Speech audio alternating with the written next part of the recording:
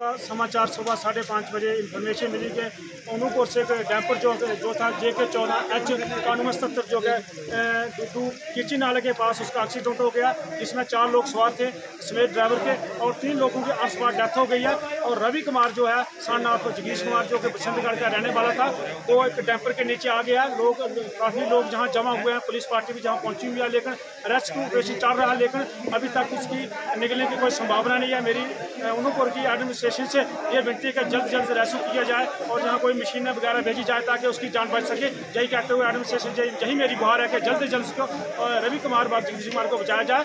और यही मैं कहता हुआ, बहुत धन्यवाद। Obrigado.